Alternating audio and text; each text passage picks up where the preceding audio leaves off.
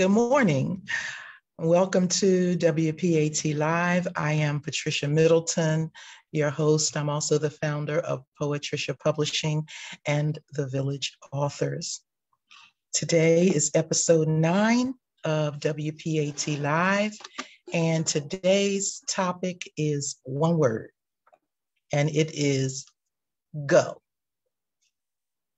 Uh, in ASL sign language, that's go. so I want to, in honor of this weekend being Pentecostal weekend, tomorrow is the day that Pentecostal believers and Christians in general all over the world are celebrating the day of Pentecost. And so today's topic is entitled Go, the prelude to the day of Pentecost. Technically, it's the prelude to it, but it's the topic for today. And um, just as always, I have my Bible, I have my notebook, and well, there it is, with notes on it. And uh, one of my books, maybe I'll read from one of my books, maybe I won't. As long as I have the book, we are set to go. So I want to give you all of the scriptures that um, we will be reading from today, you and I together. Matthew chapter 16, I'm sorry, Matthew chapter 28, verse 16 through 20, Mark chapter 16, verse 14 through 20, Luke chapter 24, verse 44 through 49, and finally Acts chapter 1, verse 4 through 8. So let's get started. And although I have my hard copy Bible, today I'm going to be using my Bible app just to move around a little bit quicker. So in Matthew 28, verses 16 through 20, included are the two verses that make up what is known as the Great Commission. The Great Commission. When you're commissioned to do something, you're sent, you're hired sometimes, and um, you're going on a mission, commission, it's in there. You're committed to this mission. And so let's just read. Then the 11 disciples went away into Galilee, into a mountain where Jesus had appointed them. Now, this is after the resurrection, after the 40 days that Jesus showed himself on earth uh, to many different people. And he has led his disciples out, and he is about to leave them bodily for good, for now. And so he's uh, again led the 11 disciples into a mountain where Jesus appointed them. When they saw him, they worshiped him, but some doubted. And Jesus came and spake unto them and said, All power is given unto me in heaven and in earth. Go ye therefore and teach all nations, baptizing them in the name of the Father and of the Son and of the Holy Ghost, teaching them to observe whatsoever things I have commanded you. And lo, I am with you always, even until the end of the world. Amen. Now that was Matthew. Mark 16, verses 14 through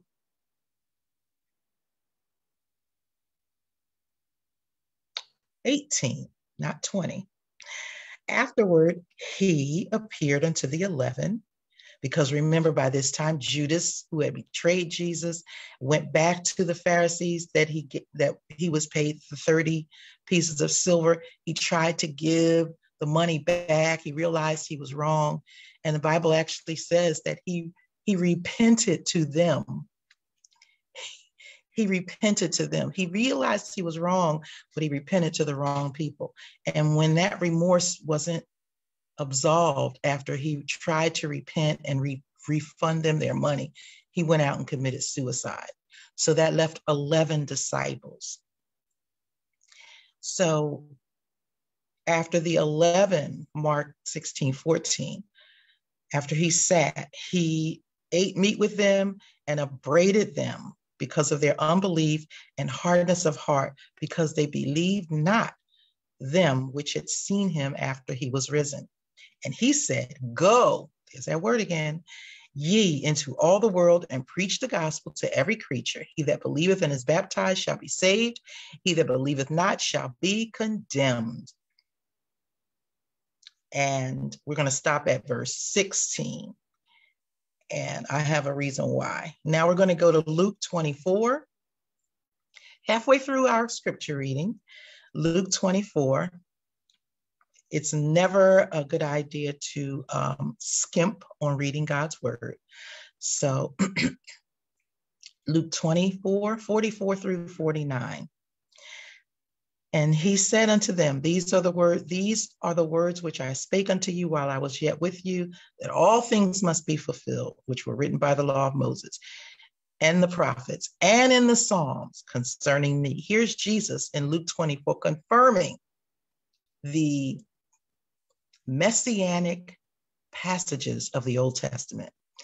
Verse 45, Luke 24. Then opened he their understanding that they might understand the scriptures. And he said unto them, Thus it is written, and thus it behooved Christ to suffer and to rise from the dead on the third day, and that repentance and remission of sins should be preached in his name among all nations, beginning at Jerusalem. And behold, I send the promise of my Father upon you, but tarry in the city of Jerusalem until you be endued with power from on high. Now, in that verse is the unspoken word go, because they were in Galilee on a mountain. They were not in Jerusalem. So when he says tarry in Jerusalem, he's actually saying go to Jerusalem and wait until you are endued with power from on high. All right. And then the very last passage I want to read, Acts 1 verse 4 through 8. And being assembled, this is all, all these passages are talking about the same event through different people's eyes Matthew, Mark, and Luke. Luke wrote Acts. And being assembled together with them, Acts 1, verse 4, he commanded them that they should not depart from Jerusalem, but wait for the promise of the Father, which saith he, Ye have heard of me. For John truly baptized with water, but ye shall be baptized with the Holy Ghost not many days hence. That's the great event that we're celebrating tomorrow all over the world, the day of Pentecost. Okay, so he says, John truly baptized with the water. I'll read it again, but ye shall be baptized with the Holy Ghost not many days hence. Verse 6, Acts 1. When they therefore will come together, they asked him, saying, Lord, will, it, will thou at this time restore the kingdom to Israel? And Jesus replied unto them, It is not for you to know the times or seasons which are in the Father's hands, in his own power. But ye shall receive power after the Holy Ghost has come upon you, and ye shall be my witnesses, both in Jerusalem and in Judea and in Samaria and into the uttermost parts of the world. They're going to be going, going, going. And when he spoke these things, while they beheld him, he was taken up out of their sight. Okay, so again, today's word is go. This weekend is Pentecostal weekend where believers all over the world are celebrating this day of Pentecost. But first, they had instructions before they were, he told them of this promise. He told them that um, even John began telling people, Mark, Matthew 3:11, John says, listen, I'm baptizing you right now for the remission of your sins, but there's one coming after me who's going to baptize you with the Holy Ghost and fire. And so people knew that the Holy Ghost was coming. They were they were told of this early in Jesus's ministry. And so here it is when Jesus says, not many days hence, that promise is almost ready to come upon them. But first, they had to, and we're going to go back to Matthew. In Matthew, his instructions weren't just go, it was specific. It was, okay, you can find it again, Patricia. It was go and teach and go and wait. I'm sorry, go and teach and go and baptize. It was specific to who? To all nations. And in Mark, he was specific with his instructions of go. Go into all the world. Do what? Preach. To who? Every creature. In Luke, he says, he doesn't use the word go, but he implies go to Jerusalem and wait. So in this one is go and wait until you're endued with power from on high so that you can do all these things. And then a finally, a finally, no, not a finally, then finally, Acts 1, he says, you will receive power after the Holy Ghost has come upon you, which is, he says, not many days hence, not many days from now. And he says, after that, you'll be my witnesses. Where? Jerusalem, Judea, Samaria, and the uttermost parts of the world. Go, go, go, go. And so after that was when he was taken up. So a lot of times we have, and we like to use these deep words, unction from the Holy Ghost, prompting, urging, nudging, feeling. We know that God is telling us to do something. We know that He has gifted us to do something. And so we feel the urge to go, to jump up and go. But many times we don't wait to get confirmation on exactly where he wants us to go, what he wants us to do, who he wants us to see. And many times there is a go and wait period.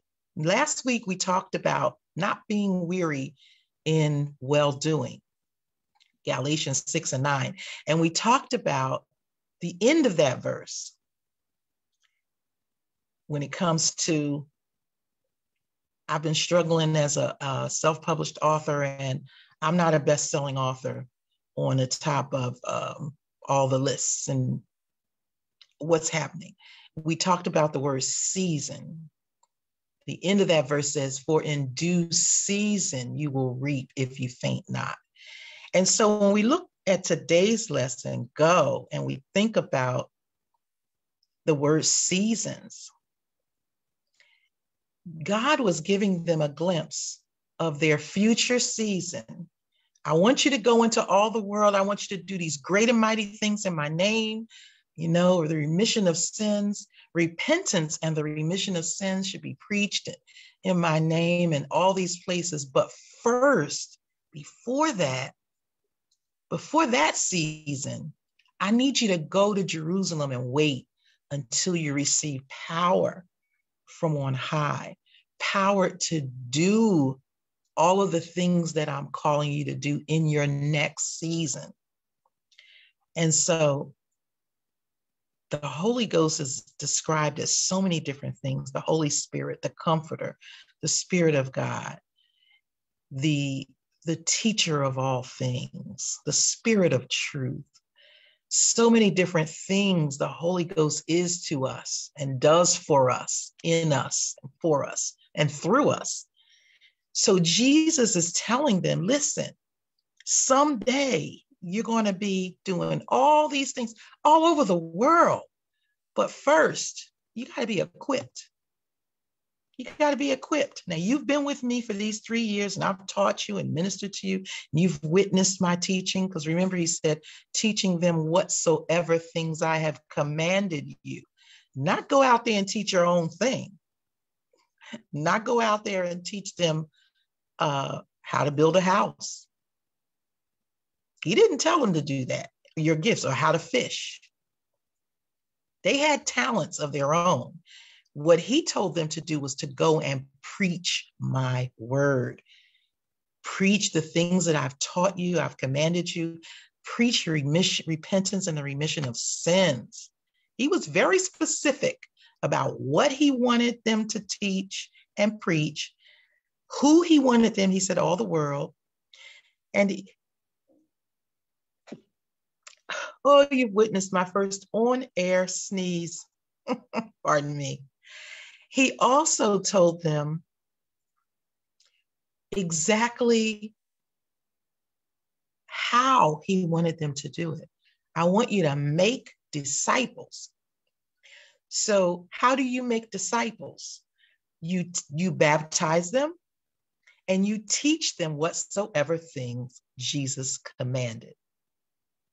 And then in, in Luke, he says, repentance and remission of sins should be taught in my name. So God is very specific about what he wants us to do if we're paying attention, if we're listening. And um, there is a season for everything, Ecclesiastics 3 and 1. To everything, there is a season and a purpose for every, and a time for every purpose under heaven. There's a season and there's a time. Didn't he even use those words in a short rebuke to, to the disciples? Listen, I'm trying to tell you go to Jerusalem, receive this Holy Ghost, this promise of the Father, and then preach in all the world. And they're stopping asking, um, is this is this when you're going to restore the kingdom to Jerusalem? And they're so not listening and paying attention. They're sometimes um, there's a phrase, listen to understand. Most of us, nine times out of 10, if we're not very intentional, we're listening to respond. We're listening to respond. I uh, spent 21 years working for uh, Bell of, Pennsylvania, Bell Atlantic, Verizon during those years. It went through a lot of different changes, the company. And in customer service, you know, on the 800 number, you have the little headset, you're in the cubicle hole. And what the customers don't know is that many times we were being monitored. We used to call it monitored by our supervisors. And there was this, they were in the conference room, this big speakerphone apparatus in the middle of the table, and they would just punch in an extension and listen to our calls. And I was very young. This is not the Patricia of today. And I would get written up so many times because the supervisors would say, you cut the customers off, you you as if you already know what they're going to ask you, and you give them the answer. It's like you're you're in a hurry, you're trying to rush them off the phone when you know that at the end of their request, you have something you need to sell them. And I would get written up and I would say, well, I, I I know what they want. When they begin the, the question, I know, yes, even if you know what they're getting ready to say, you're not listening to understand them, to have empathy with them. Uh, you're listening, only waiting for your their pause so that you can respond. And this is what through trial and error, I learned to overcome that habit. But this is what the disciples were doing in Acts in verse 6.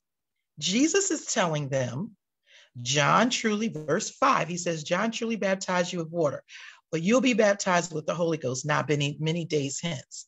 Now, when you put all of the other verses together from Matthew, Mark, and Luke, you know that he has told them that repentance and re- remission of repentance and remission of sins is going to be preached. He told them uh, that He wanted them to make disciples by baptizing them and teaching them whatsoever things he commanded them. There were a lot of other things he said before he got to John truly baptized with water, but you'll baptize with the Holy Ghost not many days hence. I need you to go into Jerusalem and wait for the power to be endued from on high. What was their response? Verse six.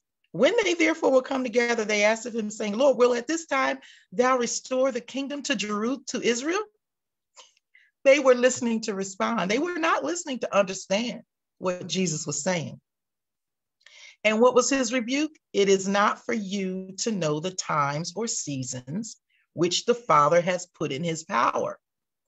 It is not for you to know all the time when your season of waiting is going to be over and it's going to be time for you to go. It's not for you to know the time or season. What, what is for you to know? Verse 8 You'll receive power after the Holy Ghost has come upon you, and you'll be my witnesses in all the world. That's what you need to focus on receiving the power, not the seasons that I'm going to make moves in the kingdom. This is what Jesus is telling his disciples. So there's a lesson in there, number one, for us to listen to understand, not listen to respond. Listen to understand, not listen to respond to one another and to God. A lot of times in my in my earlier years and in my intermediate years of being saved, I'm approaching my um, spiritual birthday, May 28th, uh, 1978 the first, the, the, the filling of the Holy Ghost. I was filled with the Holy Ghost at 15, 1978. I'm approaching. And so Jesus and I have been on this walk. Well, basically, I've been on this walk with Jesus for many years. And I was just like the disciples for many of those years. I feel God leading me to do something. I jump right up. I get no comprehension. I get no confirmation, no understanding. I go based on what I think he said. I'm pretty sure. I'm confident. Yeah. Go and do it. And then in the middle of trying to do it, I realized that is not what he meant at all. Listen to understand. Get clarity on exactly what God wants you to do, how he wants you to do it you have a book in you, moving now into the practical tips, well, still spiritual tips, but moving now into the application as for us writers and gifted people, uh, whether it's writing or singing or ministering or whatever your spiritual gift is, we need to get clarity on exactly, just like God, just like God explained to the disciples. He gave them a who, what, when, where, why, and how. We need to get clarity on that so that we don't pollute or defile the spirit being somewhere, our gift being somewhere we're not doing something we totally aren't supposed to be doing. Okay, so he told them where, he told them who, he told them what, and he told them how. He, he didn't tell them when, because the when was subject to them being obedient to the words wait. There was the go in there, go to Jerusalem and wait to be endued with the power from high. And then you'll have the power to be my witnesses in all these places Judea, Samaria, Jerusalem, the othermost parts of the world. So the when, and isn't that just like God? Not to tell us the when, I'll never forget. I'll share one more testimony. So today is going to be a sharing of testimonies. I will not be breaking open the books and sharing any poetry. I feel uh, and know that right now for sure. Uh, see, I've gotten clarity. I've waited to be sure instead of jumping right in with a poem. So there was a situation I was um uh, let's see what year was this i can't remember um well, anyway, I was coming home from work and I had this ritual. My daughter was in school and She was on campus. My son worked the uh, I think it's the middle shift. So he worked like 4 p.m. to midnight or something like that. Long story short, when I came home, the house was empty. And I had this ritual. I would sit in my favorite chair in the living room and I would have my meditation. I would have my prayer. I would have my Bible study, just me and Jesus. And one of these times, one of these days, evenings, I was in my prayer, you know, in my chair, in my prayer, in my chair. And I was praying to the Lord, you know, concerning uh, a companion, concerning getting married. And I was praying, Lord, you know, you you promised me the desires of my heart, and you promised me this and that. You know how we give God's word back to him as if he doesn't know it. But it's a beautiful thing to pray his word. But um, I'm giving God's word back to him, saying, You said this and you said that. And then I felt the, I heard the Lord say to me, Someone is praying for you. You are the desire of someone's heart. I'm like, What? Just as clear as day, right there in that living room. And I said, Lord, now I didn't now, now, now what I should have done was to immediately continue praying, go into praise. Thank you, Lord. You know, your will be done. What did I do? When, Lord? Who? Well, when is it? Well, how will I know? Well, I went right into responding instead of understanding. But God is so patient with us. Uh, some of us are hard headed children, and we just have to take test after test until we get it right. And I'm asking him, well, how will I know who it is?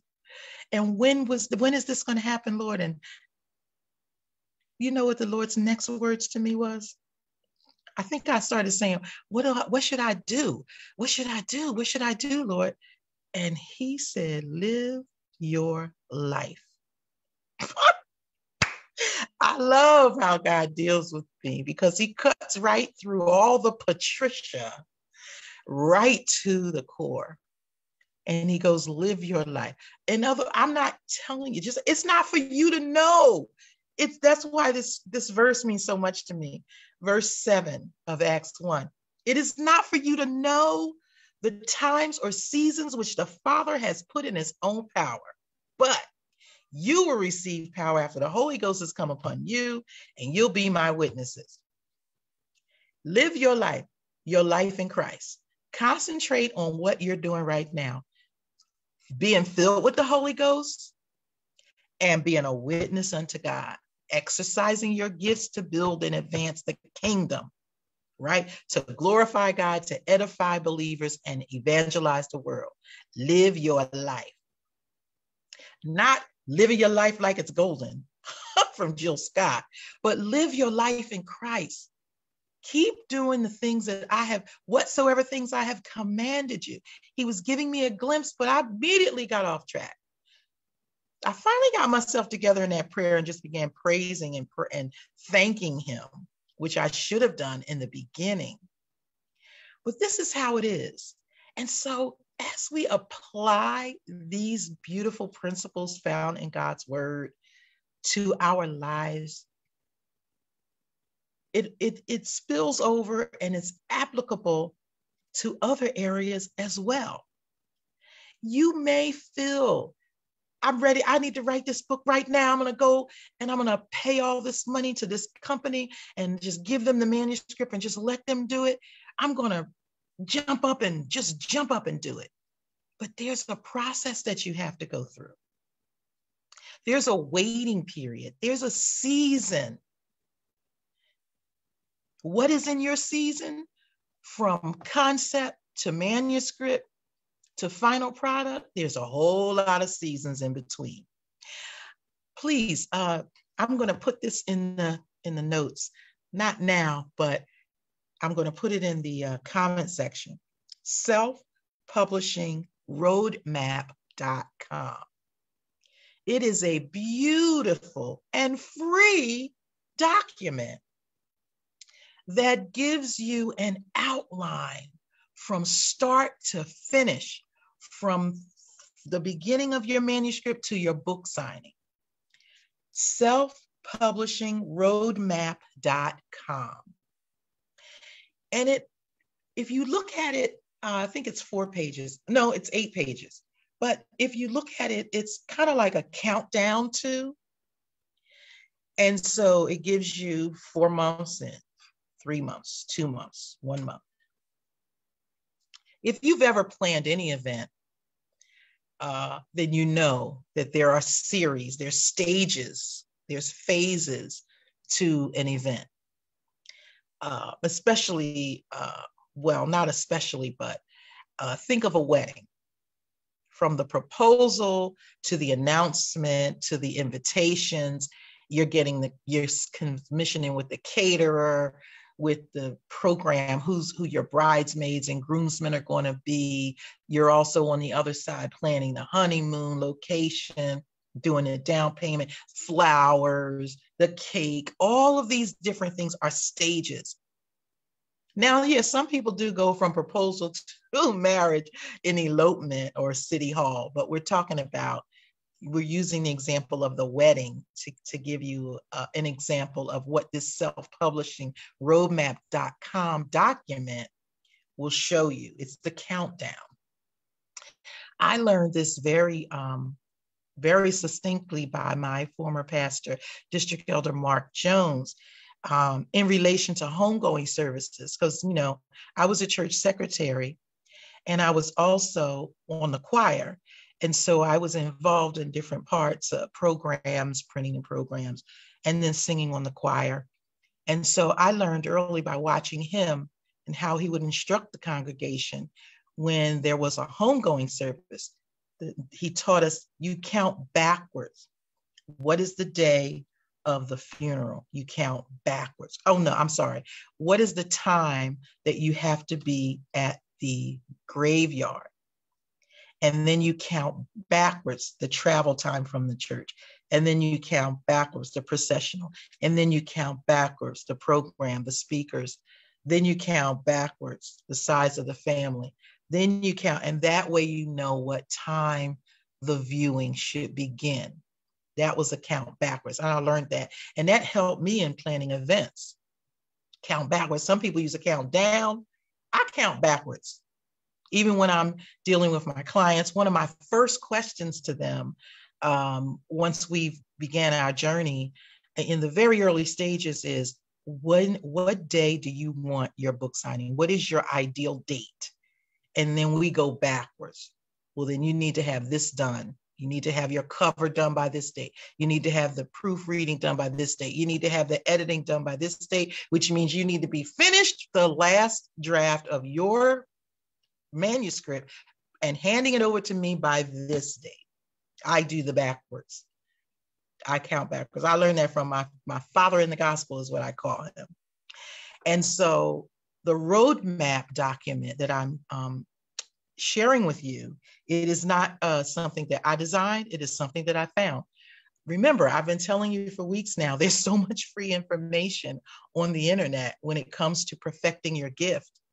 This is selfpublishingroadmap.com. It's a PDF file and it's beautiful. You may not have to go through every single stage, and some stages you'll skip because it's not, maybe you're not having an in person book signing because of the restrictions. So you eat the meat and spit out the bones, says old folks used to say, and old folks like me still say. Uh, you take what you can get from the document and you apply it.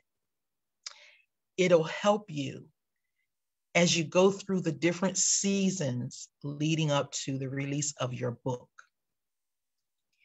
And that is that. I was just glancing over my notes, make sure I hit everything, and I did. And so I hope that this uh, episode, Go, was a blessing to you.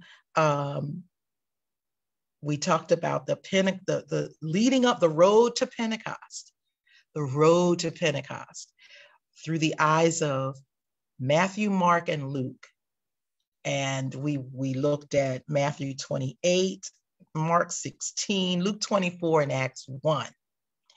And how even though the command was to go, there God was specific Number one, and there was a waiting period. There was a season of waiting to be in to be empowered in order to go correctly, in order to go in in excellence, in order to go in the power of the Holy Ghost. So, whatever your go is, there's also a season of waiting to be perfected, to be equipped, to be empowered, so that when you do go, you get where you're going. He wanted them to get where they were going. So he told them, go and wait. And after you're endued with the power from high, then you can go and teach all nations. You can baptize them. You can uh, teach them everything I commanded you. You can preach the gospel to every creature. You can teach repentance and remission of sins, all the things that he told them to do when they go. You'll be equipped and empowered to do all those things. You'll get where you're going if you wait for the power the power of the Holy Ghost. And so, just like it worked for them then, it works for us now. Whatever we want to do for Christ with our gifts, we need the power of the Holy Ghost to do it in excellence, to do it the way He wants us to do it, right? To, to do it that in a way that brings Him glory, the G effect, that edifies his body and that evangelizes the world. So there you have it.